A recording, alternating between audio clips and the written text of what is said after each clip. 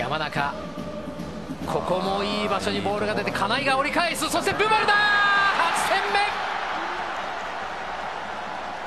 変わったブマルがダイビングヘッドで8点目を奪いました。